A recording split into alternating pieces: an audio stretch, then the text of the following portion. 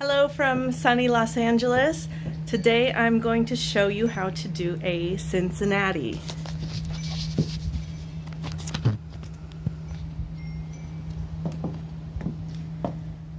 So this will start the same as a drawback, where you step back, you do a brush with your other foot, and then you drop your heel.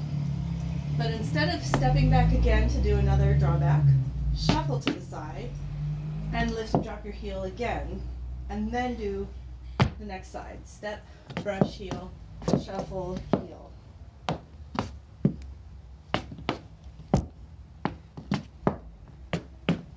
Step brush heel shuffle heel. And that is a Cincinnati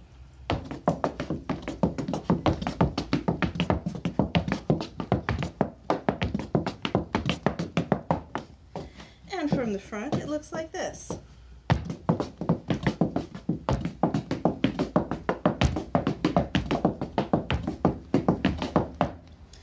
And get all the shuffles in, which I did not.